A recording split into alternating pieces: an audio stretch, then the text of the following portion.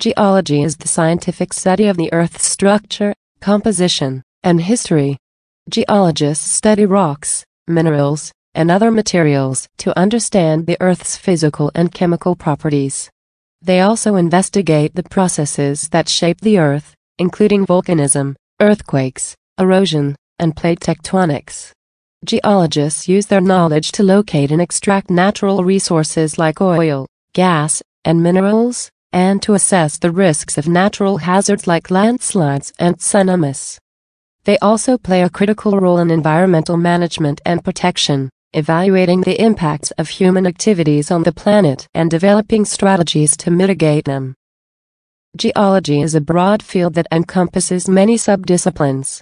Some of these subdisciplines include petrology, the study of rocks and the conditions under which they form, geophysics, the use of physics to study the Earth's structure and properties, including seismic waves, gravity, and magnetism.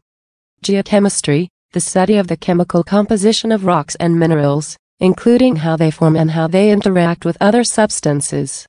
Structural geology, the study of the Earth's deformation and how it affects the formation and movement of rocks. Paleontology, the study of fossils and the history of life on Earth. Geologists also play an important role in many fields outside of traditional geology.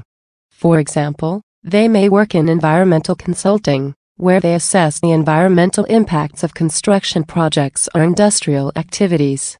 They may also work in geotechnical engineering, where they help design buildings and other structures that can withstand earthquakes or other geological hazards. Finally, some geologists work in the oil and gas industry, where they help look at and extract oil and gas reserves from the Earth's crust.